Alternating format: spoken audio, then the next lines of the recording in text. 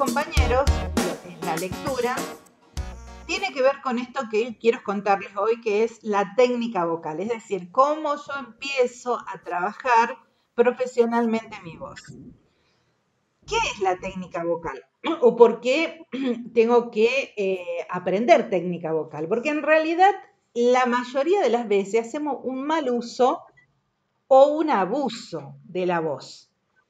¿Por qué ocurre esto? Porque no sabemos respirar correctamente, porque no sabemos aprovechar los resonadores que tiene nuestra cavidad sonora, o porque nos esforzamos para que los demás nos escuchen y eso hace que nuestra voz esté usándose de manera incorrecta.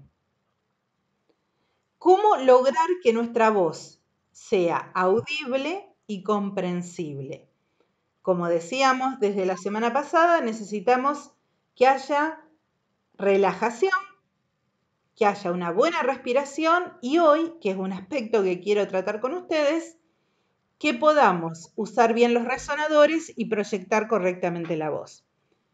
Hay alguien que tiene el micrófono encendido, si lo puede apagar sería genial porque suena, eh, se escucha la interferencia del, del micrófono.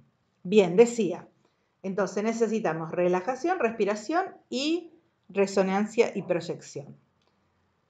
¿Cómo nos relajamos? Bueno, fundamental, dos cosas, chicos. La voz tiene que estar utilizándose de manera correcta, es decir, que la musculación que ayuda a que la voz se proyecte tiene que estar de, modo correcto. Y una de las maneras correctas de poder ayudar nuestra musculación a la voz es la postura. Fíjense, hay dos imágenes aquí en el recuadro verde. ¿Lo ven? la persona sentada y la persona parada. ¿Qué es lo que vemos en la parada y en la sentada? Que las dos es como si tuvieran en su cuerpo, a través de su columna y pasando desde la parte inferior, en el caso del que está parado, desde sus pies hasta la coronilla de la cabeza, como si tuviera un hilo que lo estirara y lo mantuviese derecho. Lo mismo pasa con la persona sentada hay como una suerte. ¿Cómo? Hay interferencia, no se puede escuchar. ¿Me escuchan ahora? ¿Hola? Sí, Flor creo que tiene el micrófono abierto, Figueroa. Si hay un micrófono abierto, genera interferencia, así que es bueno que todos lo tengan bloqueado, todos tengan los micrófonos bloqueados, por favor. Sí, Florencia lo tiene.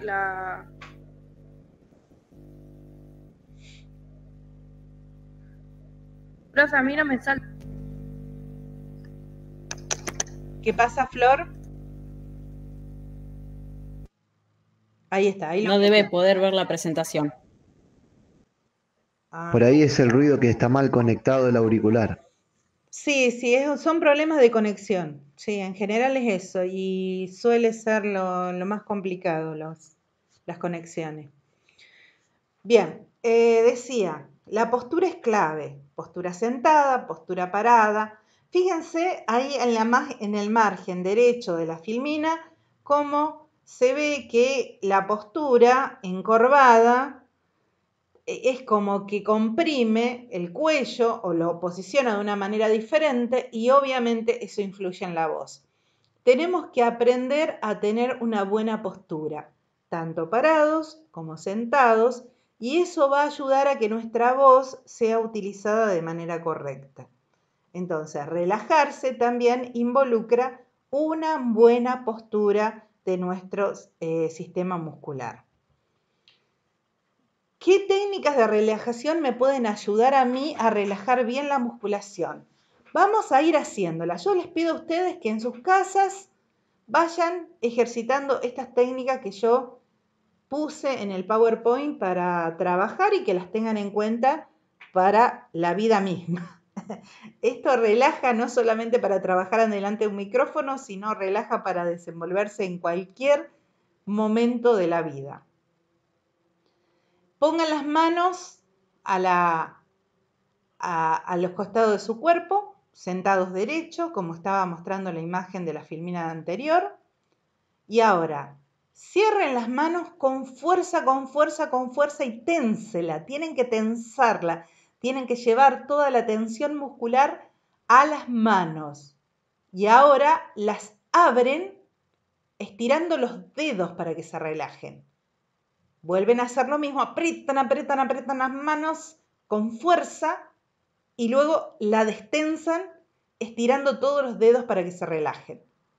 Volvemos a repetir la misma actividad. Tensamos, tensamos, tensamos, tensamos las manos con fuerza, con el puño cerrado y después las abrimos y relajamos los dedos. Una vez que hicimos eso, es como que estamos llevando a nuestras extremidades la relajación, porque aunque no parezca, los músculos más pequeños de nuestro cuerpo son los que más concentración de tensión tienen y los más difíciles de relajar. Ahora vamos a los hombros. Esto que habíamos hecho hoy más temprano, llevar los hombros hacia atrás con cuidado y después volverlos a su posición normal siempre, siempre. Todos estos ejercicios hay que hacerlo de manera relajada lo que habíamos dicho de girar la cabeza hacia cada lado lentamente, pasando por nuestra, nuestra barbilla por, por el pecho, luego hacia el otro hombro, al pecho y levantamos y volvemos a la posición normal. Otro de los ejercicios aconsejables tiene que ver con los ojos. Abrir los ojos hasta alcanzar el límite abrirlo, abrirlo, abrirlo, como si estuviéramos súper, súper, súper asombrados. Y ahí bajamos los párpados despacito. Como si de golpe nos quedáramos dormidos. Abrimos, abrimos, abrimos, abrimos bien grande los ojos y los bajamos despacito. Estos ejercicios que están focalizados en ciertos lugares de nuestro cuerpo son muy buenos para ayudarnos a relajar muscularmente para que nuestra voz trabaje bien. Con relación al sistema respiratorio, porque habíamos dicho relajación, respiración. La respiración es necesaria primero para oxigenar todo nuestro cuerpo, oxigena todos nuestros tejidos, permite que en todos nuestros órganos funcione, pero también es fundamental para la producción de la voz. ¿Qué tipo de modos respiratorios hay? El nasal, es decir, aquellas respiraciones donde la voz, eh, perdón, el aire ingresa por la nariz. Bucal, cuando la respiración ingresa por la boca. El aire, perdón, disculpen la expresión, ingresa por la boca. Y el mixto, cuando usamos tanto las vías superiores como eh, la boca para tomar el aire. Para cantar y para hablar se necesita el modo mixto. Muchas veces necesitamos que nuestra nariz incorpore el aire con la mayor cantidad posible para hacernos rendir más la voz, pero mientras estamos hablando necesariamente necesitamos tomar aire por la boca.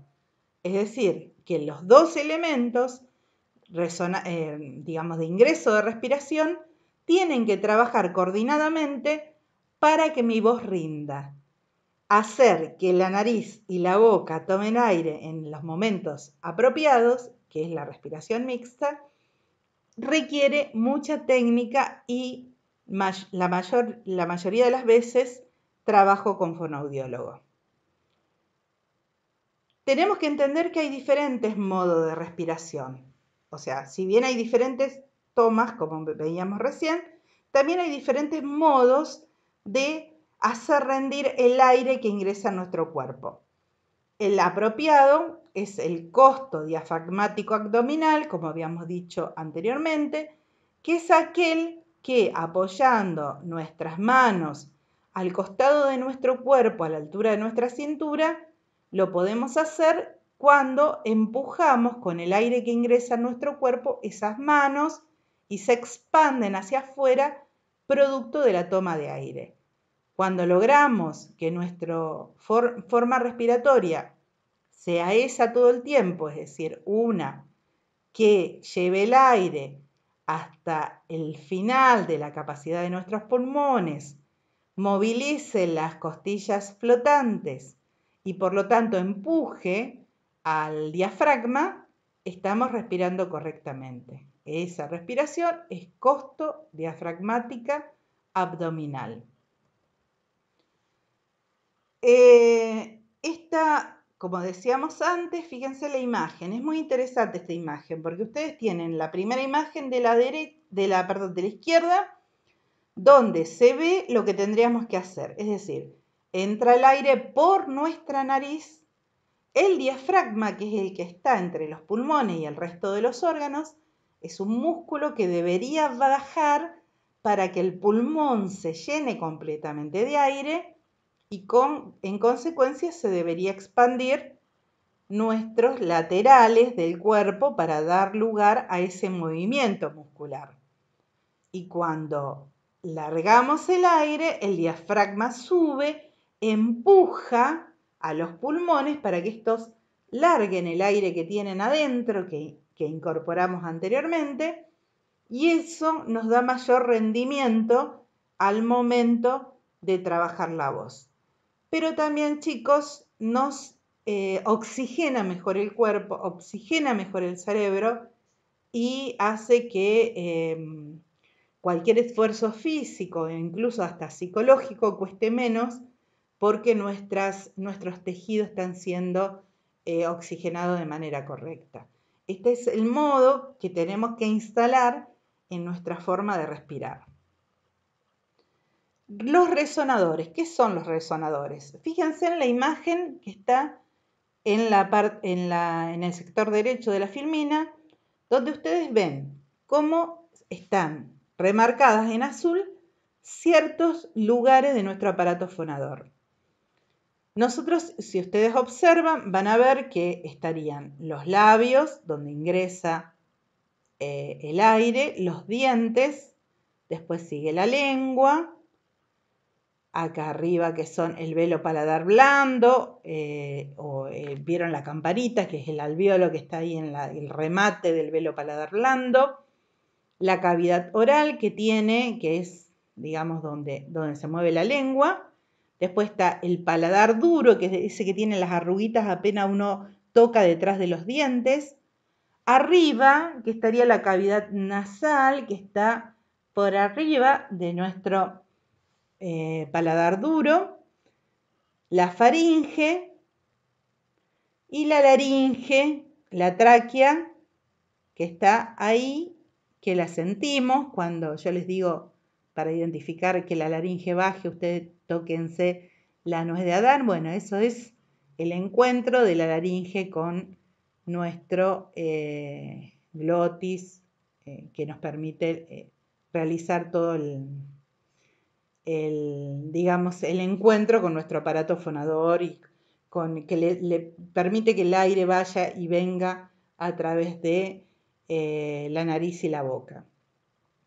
Lo importante es que estos resonadores, que serían el paladar duro, la cavidad nasal eh, y la eh, laringe, puedan ser usados correctamente. Esto, esta cavidad tiene que permitirnos a nosotros vibrar, hacer vibrar las palabras de la mejor manera y eh, darle desde diferentes matices hasta mayor intensidad a nuestra voz.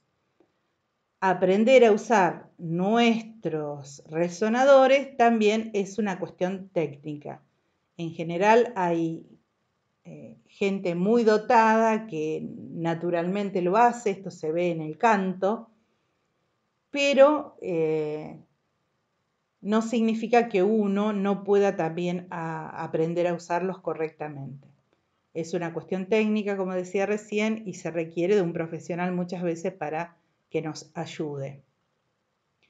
los tres resonadores serían el nasal, el bucal, con los paladares duro y blando, y eh, que sería el nasal, el bucal, el faringo, laringio, que sería hacia atrás. ¿Vieron esa, esa, eh, esas voces que suenan muy atrás y que oscuras, ¿no? Que hablan así, como si fueran voces de fumadores. Bueno, eso lo hacen sonar ahí, atrás, en faringo laringea.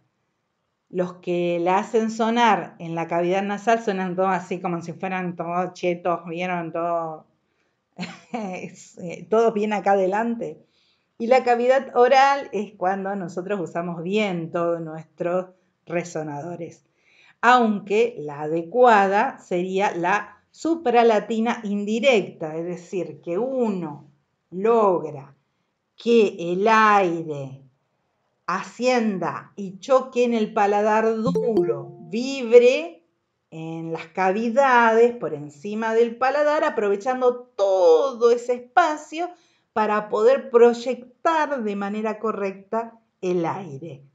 Esto se adquiere con la práctica, no es natural, no se eh, viene desde, desde el útero con la capacidad de aprender a usar estos resonadores, todos estos resonadores, para que nuestra voz pueda lucirse de manera correcta. Como verán, y como lo decía la primer filmina, la vocalización es una técnica y como toda técnica tiene que ser aprendida, no está naturalmente incorporada.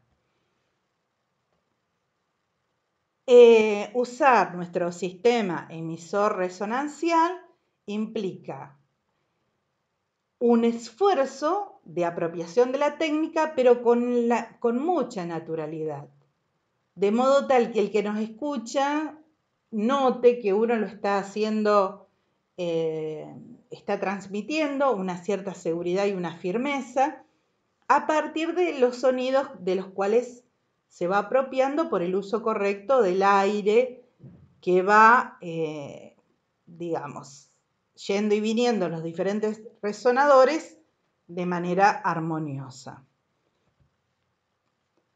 Así como hay técnicas para hacer un buen uso de la voz, hay abusos y mal usos de la voz.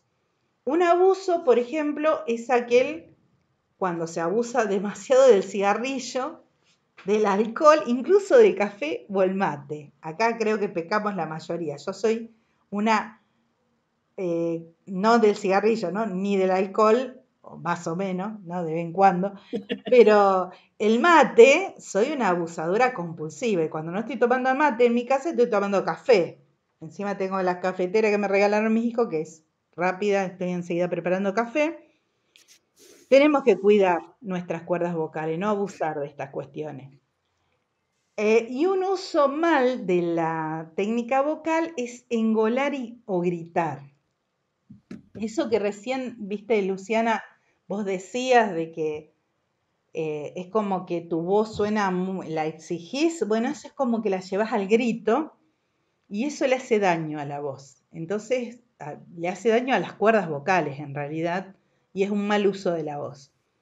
O el engolar, vieron que hay gente que habla así como yo soy locutor, soy periodista, sé hablar, a mí me sale todo bien, la gente me escucha porque sé el corazón de las personas hablan todo así todo el tiempo.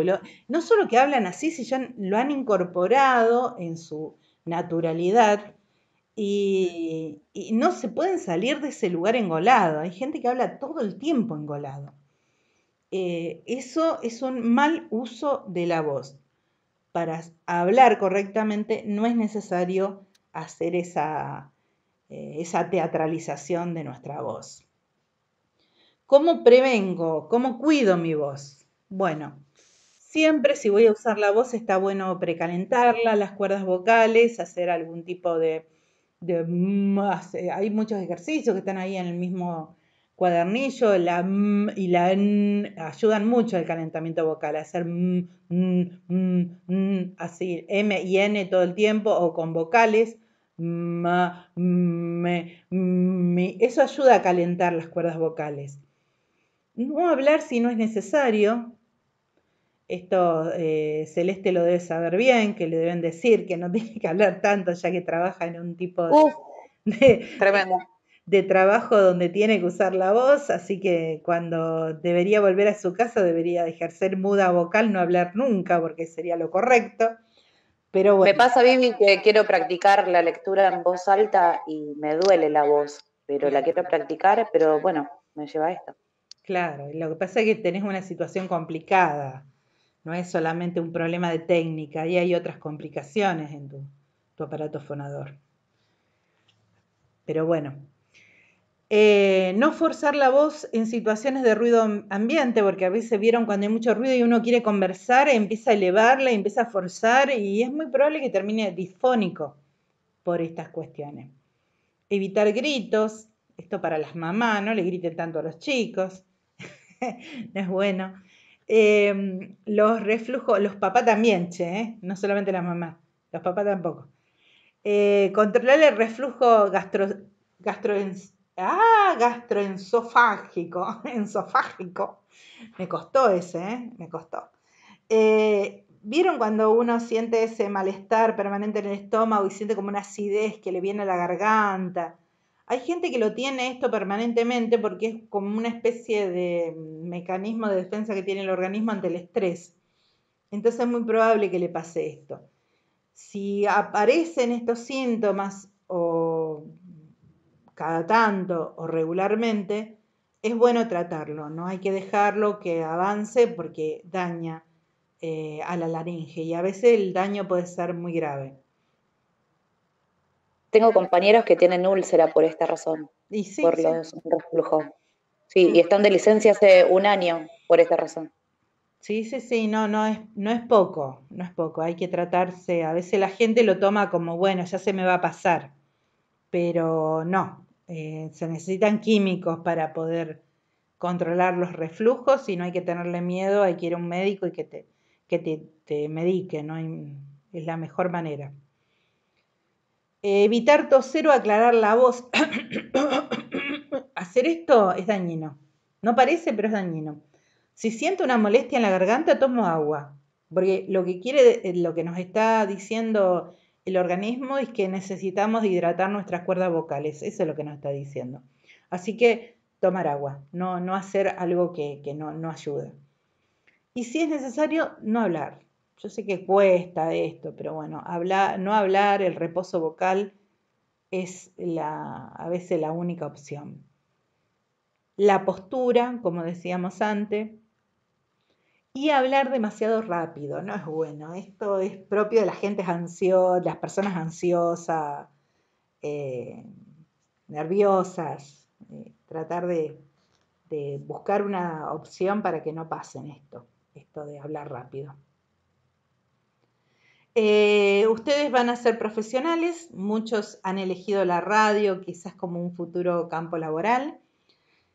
Eh, puede ser que ocurra o puede ser que, aquel que nunca se pensó trabajando en radio o televisión termine, termine haciéndolo, sea cual sea la circunstancia.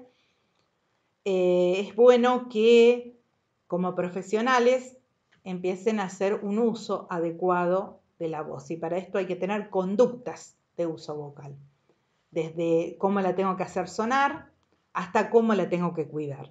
Todas estas cuestiones que están puestas en este PowerPoint, yo les pido que la consideren, la tengan en cuenta y traten de aplicarla.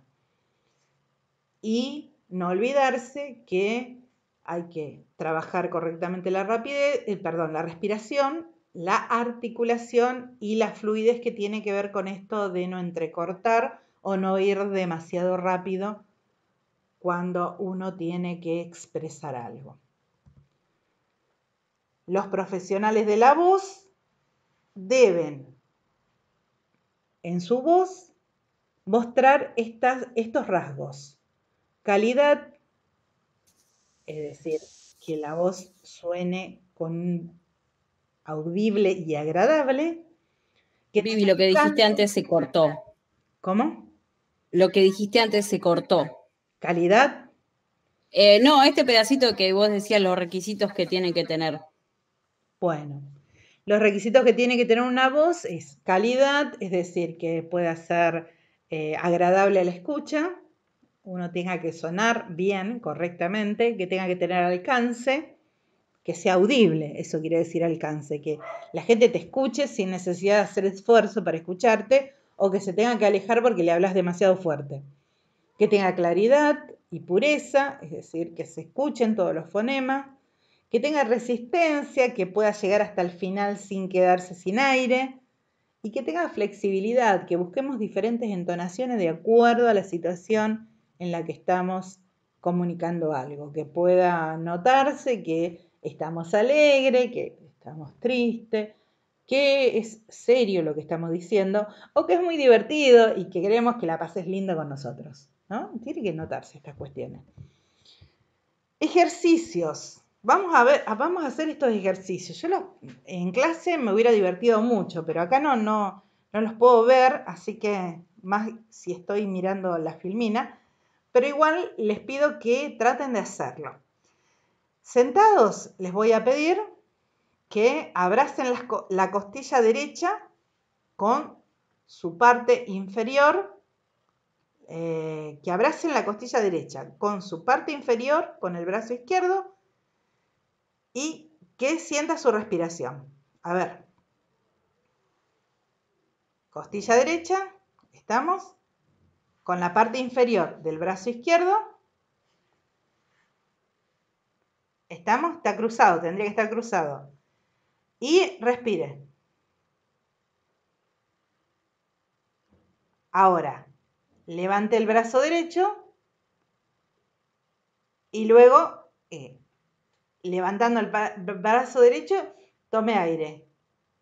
Y al bajar el brazo derecho, suelte el aire sin dejar de abrazar la costilla con el brazo izquierdo. Estamos porque yo tengo que moverlo, se tiene que notar que estoy tomando aire. Entonces, tomo aire y elevo el brazo, saco el aire y bajo el brazo. Subo, tomo aire y elevo el brazo derecho, perdón, izquierdo. No, sí, el brazo derecho. Y bajo el brazo derecho y largo el aire. ¿Se entendió? ¿Lo pudieron hacer? No los estoy viendo, así que no sé si, lo hicieron. si lo hicieron. Sí, profe, sí, sí, se hizo. Bueno, ahora vamos a pararnos. Vamos a pararnos. Yo me voy a parar. Espero que se siga escuchando bien. Nos paramos. Llevamos el aire a la zona costal. ¿Es necesario, profe? Claro, no tenemos un compañero acá, pero no importa. Eh, porque lo correcto sería que uno le tocara la, costilla al compañero de adelante, pero no lo podemos hacer. Toques en las propias. Tomen aire con las, manos, deberían poder parados. Acuérdense la postura, derechito, siempre los hombros derechos, eh, como si tuviéramos una línea que nos atravesara desde la coronilla hasta los pies. ¿Qué pasó? ¿De qué se están riendo? Profe, ¿nos paramos y qué hacemos con las manos? Eh, derechos, las manos a los costados y empujan. Empujan las manos tomando aire con la zona costal. En posición jarrito. Exacto, como si fuera un jarrito. Empujan las manos. Sentados, inspirar por nariz con la boca cerrada Sentados, acuérdense, siempre posición correcta, rectos. Tomo por la nariz y largo el aire con un aire constante. Acuérdense de expandir los costados.